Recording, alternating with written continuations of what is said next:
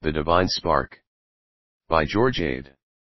One evening at a converted rink known as the Grand Opera House, a flock of intrepid amateurs put on a war drama.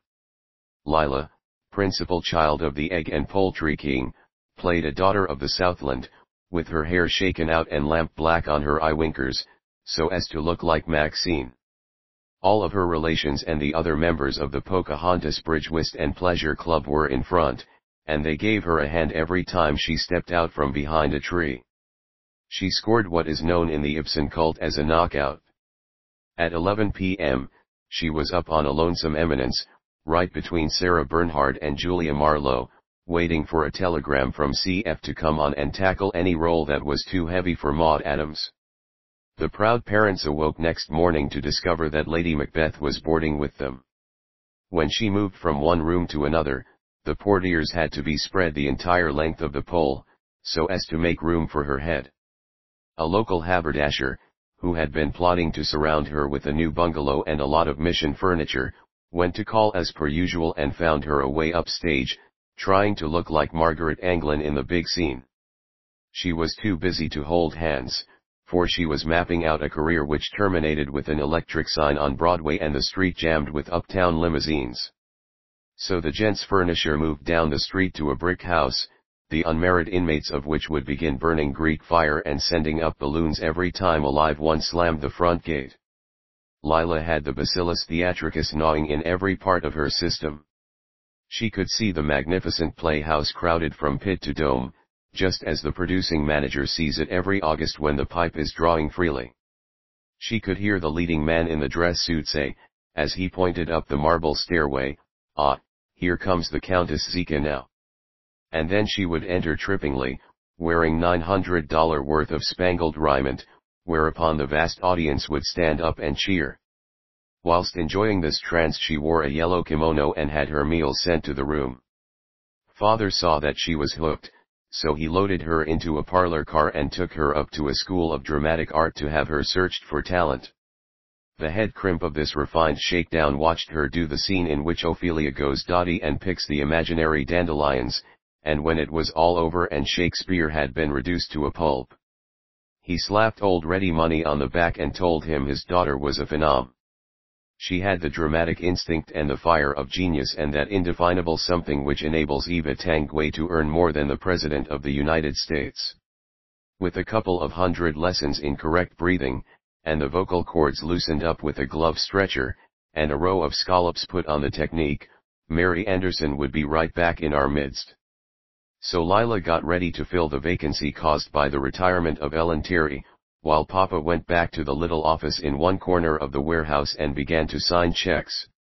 It took many an egg to have Lila properly conservatoried. At last she came home with a diploma showing that she was an actress. After that, she merely needed a play and a company and a lot of scenery and a manager and a theater and the soft old public buying of the scalpers, in order to realize her modest ambition to become a real star. She took her diploma and the local press notices up to New York to see what she could get on them, and found 10,000 other incipient Modjeskas hitting the worn trail that led from one agency to another. Artistic temperaments were more abundant than lampposts, and getting an audience with a big gun was just as easy as opening a time lock with a hat pin. She had an offer at the Hippodrome to walk in front of an elephant, waving a prop palm, but she spurned it, because she was ready to do Desdemona at a moment's notice. As for the laudatory article written by a would-be Willie Winter of the Wild and Woolly West, she couldn't find anyone in the neighborhood of 42nd Street who had even heard of the tank town in which her folks were so prominent. In order to get experience, she signed up with a number 4 company, playing the part of the deaf and dumb lady who crosses the stage and removes the tea things early in the second act. When the troupe went on the rocks at Mauch Chunk, Penna, the erstwhile favorite of the Pocahontas Club found herself seated on a trunk-marked theater standing off a deputy sheriff and waiting for an answer to her wire. The first old woman, who remembered Edwin Booth, came and sat beside her. Do not be discouraged, honey, said she. Go right back and start all over, and possibly sometime next year you will again have the blessed privilege of going up a neglected alley twice a day and changing your clothes in a barn. Any girl with your looks and family connections can curl up in a four-poster at night and then saunter to the bath over a soft rag in the morning. But only a throbbing genius can make these night jumps in a day coach and stop at a hotel which is operated as an auxiliary to a first-class saloon. It will be hard sledding for the first 15 or 20 years, but, by the time you are 45, you may reasonably count on getting 20 weeks out of every 52, running around in front of a kinetoscope. Lila pulled into the scene of her early triumphs with a mere suggestion of number 2 grease paint still lingering behind the ears.